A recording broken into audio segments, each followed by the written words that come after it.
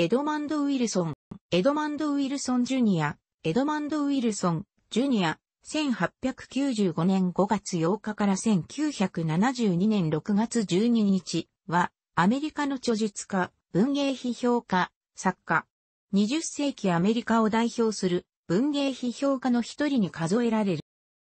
1895年、ニュージャージー州、レッドバンクにて、父と母ヘレン・マーサーのもとに生まれる。1912年、プリンストン大学に入学し、クリスチャン・ボースのもとで文学を学ぶ。1916年、プリンストン大学を卒業し、ニューヨークのイブニングさん紙記者として文筆活動を開始。1917年には第一次世界大戦での軍務につき、軍病院に配属されて、フランスに派遣された、後に情報部に転属。1919年、ニューヨークに戻り、1920年には、バニティフェア誌編集長、ついで1921年には、ニューリパブリック誌編集長となる。1922年には再び、バニティフェア誌に戻り、女優のメアリー・ブレアと結婚。1929年には、神経衰弱に陥りサナトリウムに入る。同年、ブレアと離婚。1931年には、主著となる、アクセルの城を発表し、これによって文芸批評家としての地位を確立した。1933年、ニューリパブリック市に戻り、翌1934年には同市に、フィンランド駅への第一章を発表。1935年には、グッケンハイム奨学金を得て、ロシアへと渡った。1938年、作家、文芸批評家のメアリー・マッカーシーと再婚し、長男ルーエルが生まれる。1941年には、第二次世界大戦に対する姿勢の食い違いから、ニューリーパブリック誌を実施、1943年から1944年にかけてはニューヨーカー誌で書評者を務める。1946年、マッカーシーと離婚し、エレーナ・ソーントンマームと再婚。1954年には、司会文書の取材のため、イスラエルに渡り、翌年これをもとに、司会写本を上司。1959年から1960年にかけてはハーバード大学で講師を務め、1962年にはカナダ文学研究のためカナダを訪れた。1963年、冷戦と所得税を発表し、大統領自由勲章を授与される。1972年、脳卒中に倒れ、ニューヨーク州タルコットビルで死去した。77歳。酸素吸入器を持ち込んで執筆を続けた最後の一年を送った。書斎検診室の壁には、ヘブライ語による。旧約聖書新明記のモーセの言葉が掲げられていた。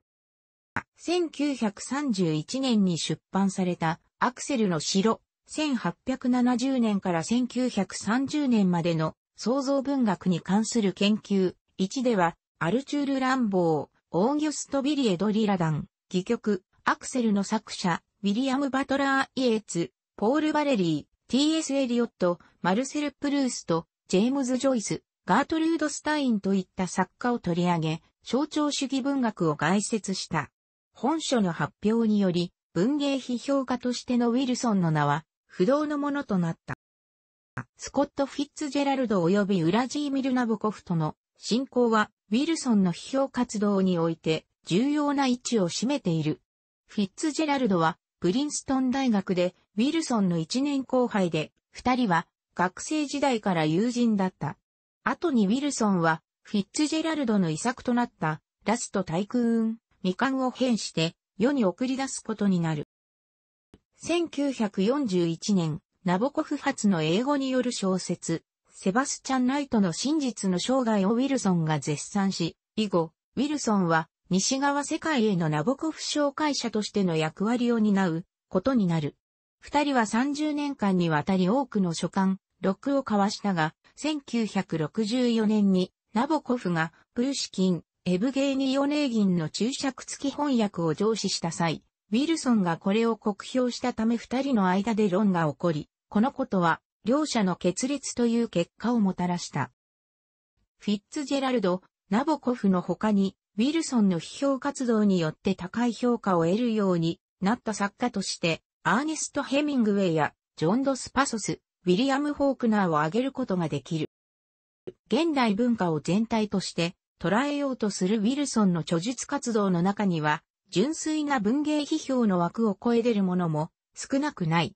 1940年に書かれたフィンランド駅へにでは、ジュール・ミシュレのビーコ発見に始まり、マルクスとエンゲルスの共同作業を経て、1917年のレーニンのフィンランド駅到着に至る革命思想の展開と社会主義思想の勃興を滑車した。ウィルソンの初期の著作には、とりわけ、フロイトとマルクスの影響が色濃く見られる。また1962年の愛国の地のり4では南北戦争時代の膨大な文献を駆使して、ハリエット・ビージャーストがアンクルトムの小屋によって転化したアメリカの市民戦争の内情を滑車し、アメリカにおける戦争のメロドラマ化を批判している。この他には、司会文書の発見とそれをめぐる数々の論争を追った司会者本3等が有名である。ウィルソンはまた、アメリカの冷戦政策への批判者としても知られている。1946年から1955年にかけては所得税の納付を拒否し、これにより内国歳入庁の追及を受けた。1963年に発表された評論、冷戦と所得税、ある抵抗後では、ソ連との軍拡競争の結果、共産主義からの防御政策の名のもとに、アメリカ国民の自由が侵害されている、と論じた。また、アメリカのベトナム戦争介入に対しても、批判的立場を取った。楽しくご覧になりましたら、購読と良いです。クリックしてください。